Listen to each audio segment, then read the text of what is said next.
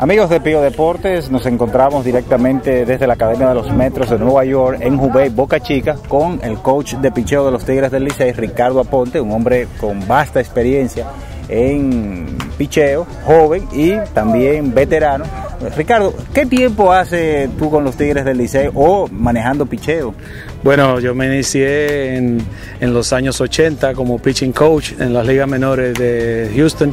Y con el Licey comencé a trabajar desde el 2005, unas veces sí, otras veces no, pues tú sabes que el juego de béisbol en República Dominicana es muy complejo y hay veces que, que no hemos podido trabajar, pero ya yo llevo más o menos cuatro o cinco temporadas completas con los Tigres del Licey. Gracias a Dios el año pasado hice mi retorno triunfante después de dos años fuera y pudimos conseguir el campeonato y ser campeones. ¿Qué ha sido lo más difícil para ti como coach de picheo con los brazos jóvenes y con el picheo de relevo también, que siempre es importante en esta liga?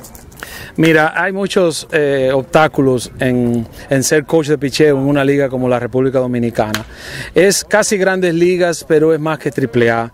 Y hay jugadores de una experiencia eh, que muchas veces eh, vienen a, a, a, terminar su carrera en la Liga Dominicana, otras veces vienen jóvenes con un talento extraordinario. Y poder poner eh, todo el talento del grupo que seleccionamos en el terreno y que nos den el 100% y que se concentren en lo que están haciendo, ha sido una de las partes más difíciles que tiene un pitching coach. Para mí, eh, bregar con el, con el día a día y tener todos los, los jugadores saludables ha sido una de las cosas más difíciles, porque uno nunca sabe lo que va a pasar. Eh, dentro de estos lanzadores que han pasado por tus manos, ¿cuál ha sido el que más satisfacción te ha dado trabajar?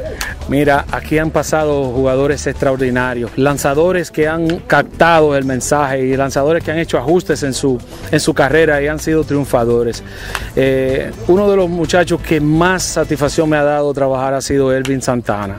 Santana vino de, de tener una temporada mediocre con los angelinos, hizo sus ajustes necesarios aquí en la Liga Dominicana y, y de ahí en adelante ha sido un factor en las grandes ligas. Mira que este año lanzó con los Bravos de Atlanta y Santana ha sido un lanzador consistente de ahí en adelante. Pero han venido jugadores extranjeros que también han hecho su, sus ajustes aquí en la Liga Dominicana y han, y han llegado a las grandes ligas y han, y han, tenido exitosa carrera también que han pasado por aquí. La temporada pasada fue difícil para ustedes los Tigres porque tuvieron problemas en su picheo. ¿Cómo tú te las ingeniaste para tratar de sacarle el máximo a estos lanzadores, tanto abridores como de relevos? Hubo una, una, clave en eso. Nosotros preparamos a los lanzadores del principio de los entrenamientos para que tiraran de 3 a 4 entradas. Al comenzar más temprano los entrenamientos, lo pudimos alargar y ponerlo en condiciones para que tiraran eh, varias entradas. Después llegó el momento en que tuvimos un lapso de tiempo, después que habíamos ganado 15 juegos, y tuvimos problemas con los, con los abridores que llegaran a su límite de inning y que los relevistas se mantuvieran en forma. Pero Noesí vino y hizo el trabajo trabajo. Vino Atkins y nos resolvió. Y los dos extranjeros, Narverson y el otro muchacho de, que fue a Japón a jugar, hicieron tremendo trabajo, nos ganaron los juegos que tenían que ganar y llegaron los innings que tenían que llegar y nos dieron oportunidad a tener el relevo. Y ya tú sabes lo que hizo el relevo de nosotros con Asensio, que falló muy pocas oportunidades de salvado. Y Luis Vázquez nos hizo el trabajo cada vez que lo pusimos.